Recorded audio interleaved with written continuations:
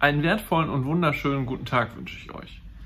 Bin heute relativ früh im Büro und ist noch ganz dunkel draußen. Und ja, ich sitze noch ganz entspannt hier und bereite die Woche vor und äh, blättere gerade so noch im neuen Büchlein im Kurswechsel. Das wird ja am Freitag veröffentlicht.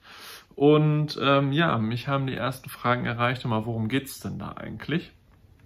Zu viel möchte ich nicht verraten. Ein bisschen soll der Spannung aufgebaut werden, hoffe ich zumindest äh, bis zum Freitag, dass man es äh, bei der Veranstaltung kennenlernt. Und äh, da werde ich natürlich auch genau erzählen, worum es geht.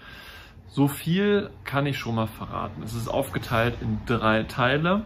Einmal der alte Kurs, Kursschwankung und der neue Kurs. Darin wird also ein bisschen beschrieben, wie es früher bei uns war, warum wir uns für einen neuen Kurs entschieden haben und wie der neue Kurs genau aussieht.